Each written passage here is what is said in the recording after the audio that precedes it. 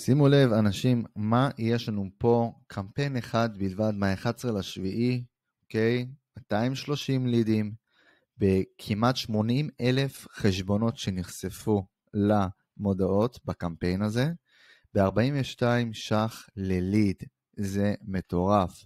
סך הכל תקציב 9,719 ש"ח, כמעט 10,000 תקציב בחודשיים. יש פה תקציב שהוא כמעט 5,000 בחודש.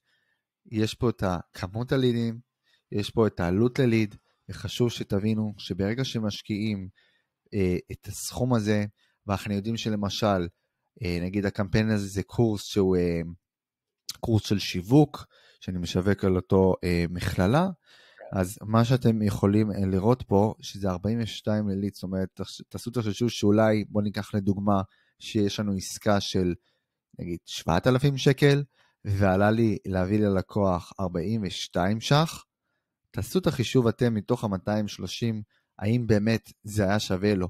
כי מספיק שהוא סוגר שתי עסקאות, המחיר הזה הוא כבר לא רלוונטי, אוקיי? אז תשימו לב בעצם איך אתם בונים את הקמפיין, ואם אתם רוצים איזשהו ייעוד שיווקי שאני אתן לכם, כדי לראות מה אפשר לעשות בעסק כדי להרים אותו ושתתפתחו דיגיטלית, אתם יותר ממוזמנים להשאיר פה פרטים אה, ולהיכנס בלחצן למטה ולהשאיר את הפרטים, וכמובן שאני אשמח לשוחח איתכם ברגע שאני אראה את הפרטים שהשארתם. אז יאללה, קדימה, חכה לשמוע מכם.